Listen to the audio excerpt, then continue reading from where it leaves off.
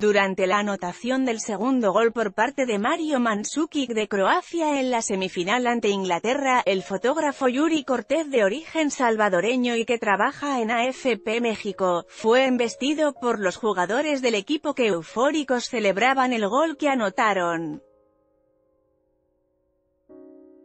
Lee también, Croacia elimina a Inglaterra en otro alargue y jugará la final del Mundial en el siguiente video narra lo sucedido, Yuri Cortez, fotógrafo de origen salvadoreño y que trabaja en AFP México, narra como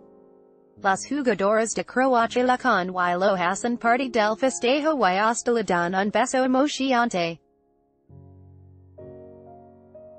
En esta nota,